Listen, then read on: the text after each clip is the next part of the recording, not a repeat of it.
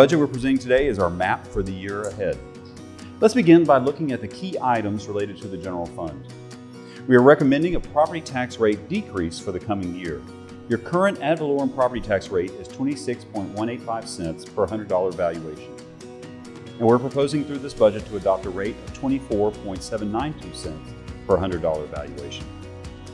The projected property taxes for fiscal year 2024 amount to about $28.2 million, a $1.3 million increase from the previous year.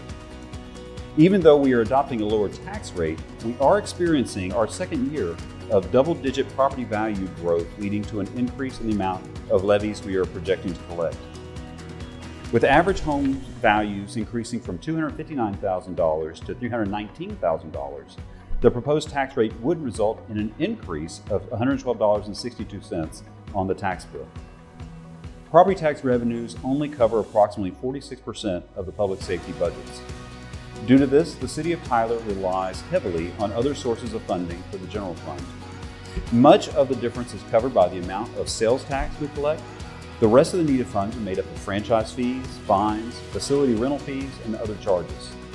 Last year, the Council approved funding for a classification and compensation study. The Phase 1 implementation includes bringing all our civil service positions, these are your police and fire positions, to market and ensuring that current non civil service employees are no more than 15% behind their market value. Our commitment to our largest infrastructure investment, our streets, continues with the 2 cents of the property tax rate set aside toward our Quality Street Commitment Fund and will provide approximately $2 million for maintenance and repairs. Additionally, this budget includes approximately $1.7 million in one-time capital purchases funded through savings in the current fiscal year.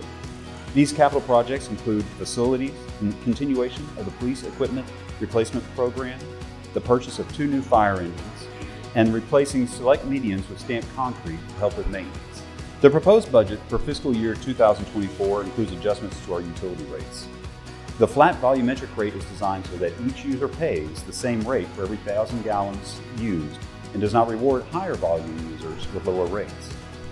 To address the capital needs of our water and wastewater system discovered in our most recent master plans, we are recommending the volumetric rates for both water and wastewater increase by 20 cents. This increase will help us pay for approximately $43 million in needed capital improvements. There are $28 million in estimated capital projects during this year. To pay for the debt required to fund these projects, the regulatory compliance fee will increase by $6.28. With the recommended changes above, we are estimating the average monthly residential bill will increase $9.16. Finally, the proposed budget includes an increase on the residential trash collection fee. We are recommending an increase of $1.85 for residential trash service. This will allow us to continue to offer a premium twice a week service to our over 31,000 customers. We focus on employees, infrastructure, public safety, and continuous improvement for our services that reflects your vision of this community.